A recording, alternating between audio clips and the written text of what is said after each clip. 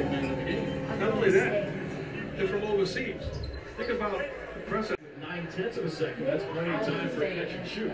Good words. You gotta understand the situation where they try to cut Simmons. Only Ginobili but a wild cut going to the.